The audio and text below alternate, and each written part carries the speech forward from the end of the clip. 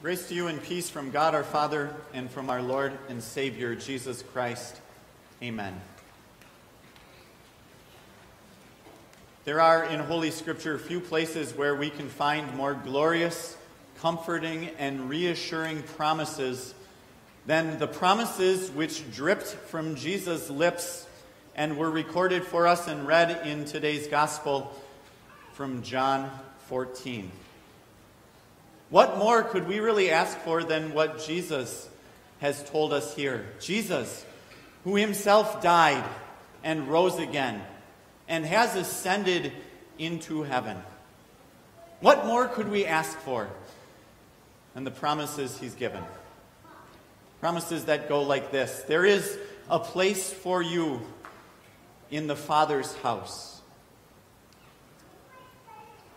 Promises like this there is life after death. This is the truth that you could not see with your eyes, but that Jesus himself has made clear, made known to you. And that he has opened the way there, the path of faith in him, in his death and his resurrection.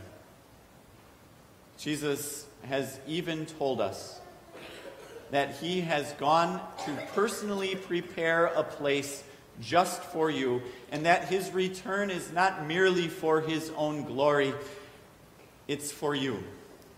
To come and get you, and to take you to be there in that place that he has so lovingly made ready just for you. The most comforting and reassuring promises and yet, and yet, Jesus felt compelled to preface some of the most glorious words in all of Holy Scripture with a warning and a command. Do not let your hearts be troubled. Believe in God. Believe in me. And if what follows is any indication, then that great and yet was both justified and needed. For those beautiful words had barely fallen from Jesus' lips when he ran into not one but two hearts that were troubled, hearts that either weren't listening or weren't believing, or both. First, there is the troubled heart of Thomas who appears to have stopped listening after he heard Jesus say that he was going away. That was where Thomas fixated on the fact that Jesus was no longer going to be there for him to see and to talk to face to face. And this was troublesome to Thomas. Lord, we don't know. Those are the words of a troubled heart. Of a heart that thinks it would have peace if only we did know. Only we did know every single step along the way that finally leads to Jesus' side.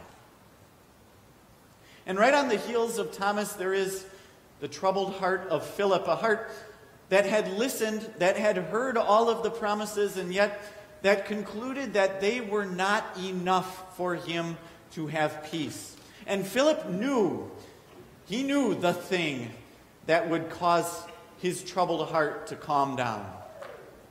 And he demanded it of Jesus Lord, show me just a little glimpse of glory, and that will be enough to give me peace. That's what Philip said. And undoubtedly, Jesus aimed to trouble Philip's heart with his direct reply. How could it be, Philip, that you have been with me for so long and still you don't get it?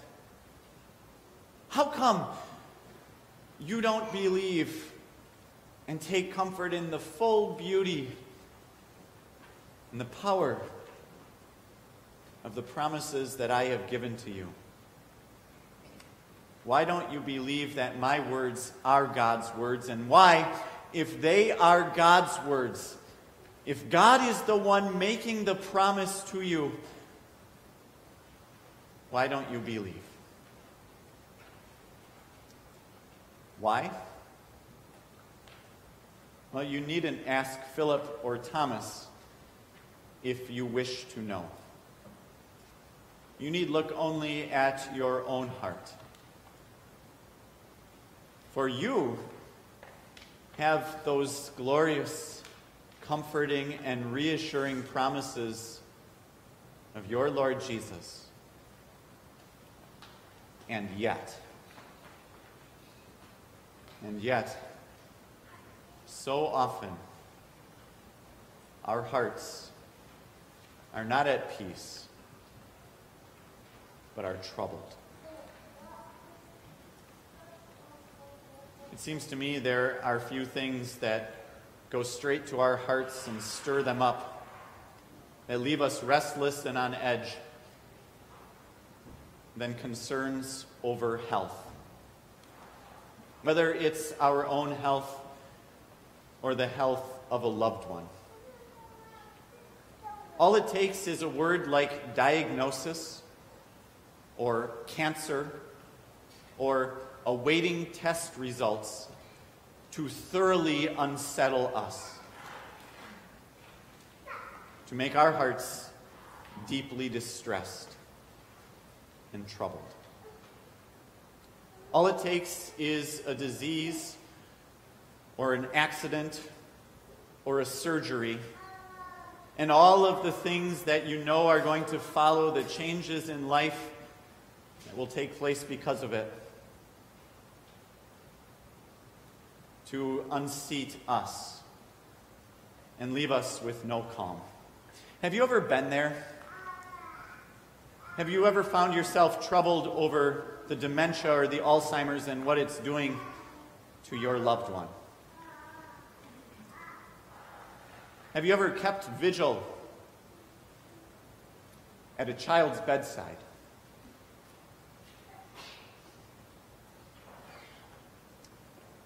Have you ever been waiting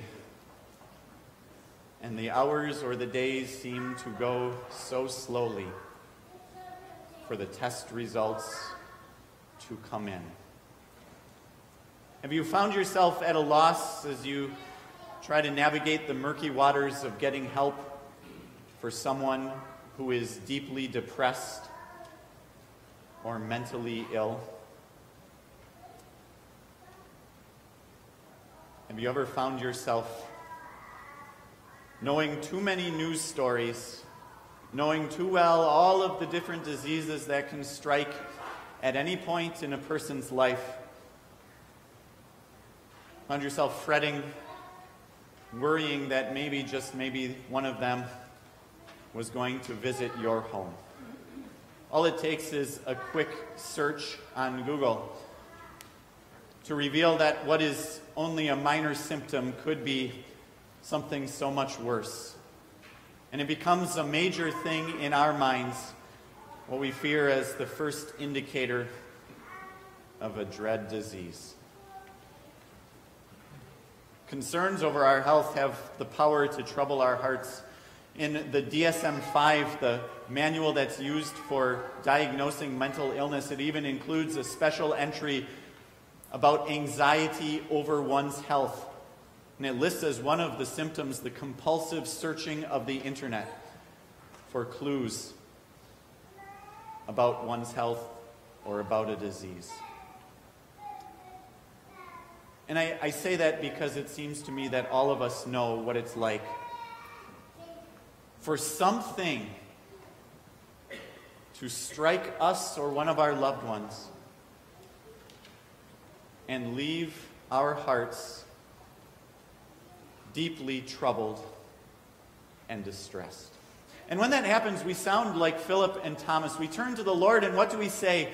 Lord, we don't know. I don't know why you would be allowing this to happen to me. Lord, show me. Let me see your good purpose in this suffering. I want to know the whole roadmap and every step along the way that you have laid out for me, and that hopefully one day ends with me meeting you. If only I knew that, then I'd think mistakenly that I would have peace. I need some sign, something for you to show to me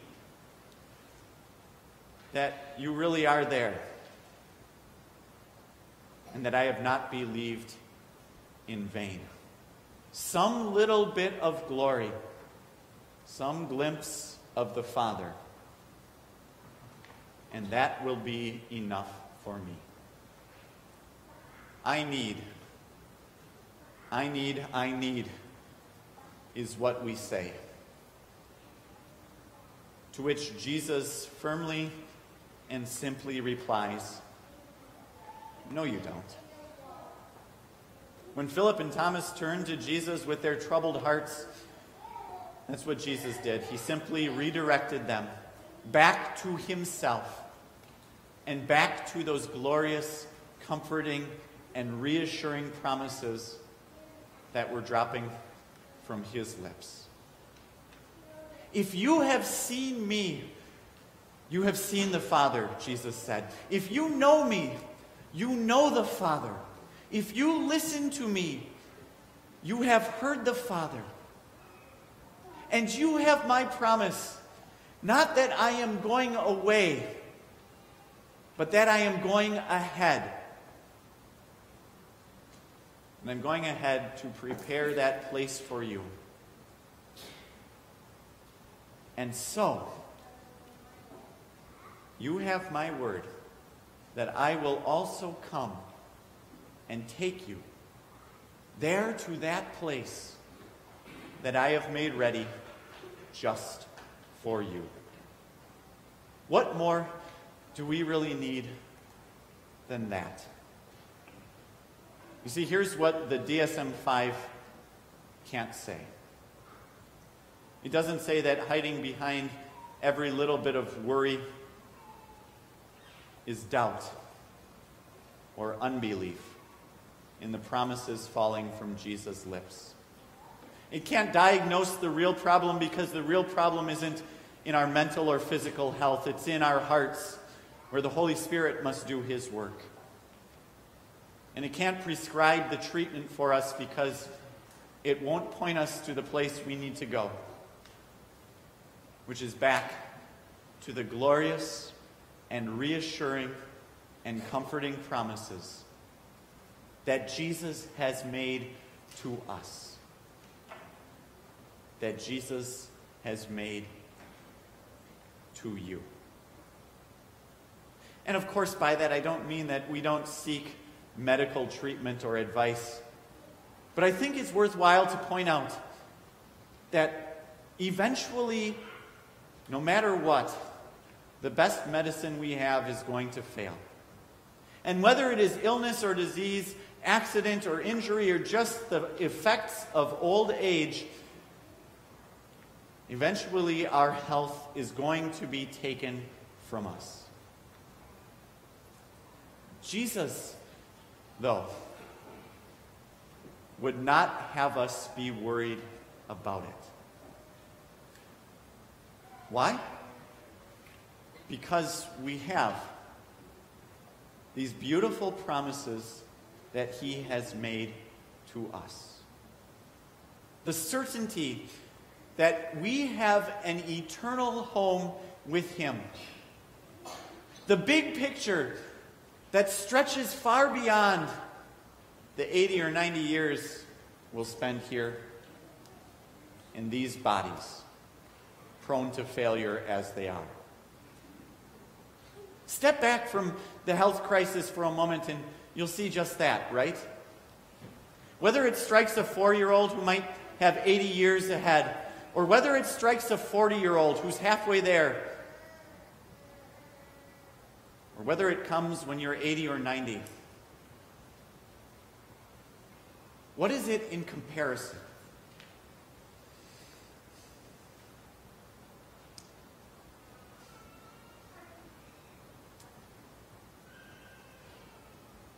What is it in comparison?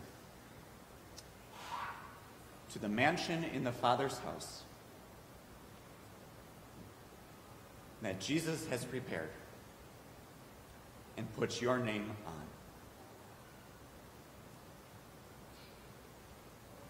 Really, what more do we need than that? We know no crisis is going to intervene and stop Jesus from keeping his word. He is gone, and he has prepared a place for you.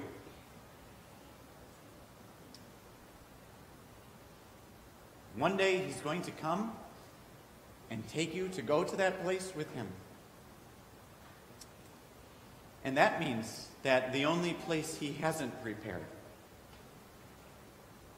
is a place for you to have a troubled heart. Amen. Please stand. The peace of God, which surpasses all understanding, guard and keep your hearts and minds in Christ Jesus. Amen.